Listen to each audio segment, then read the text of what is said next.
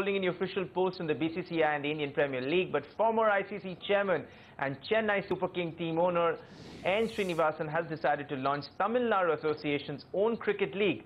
The India Cements top boss, who continues to be the president of Tamil Nadu Cricket Association, says that the main goal of the championship is to identify local talent and bring district-level players to the forefront. And the former BCCI chief thinks that the new boss, Anurag Thakur, is the right person for the job. I believe things will get resolved in due course, hopefully. There's a reputation loss or anything, because I don't want to go into that in detail. I think Anurag Thakur is very experienced, is capable, and I already I sent him a message wishing him all the very best. And I'm sure he'll be a successful president. Well, N. Srinivasan's latest comeback.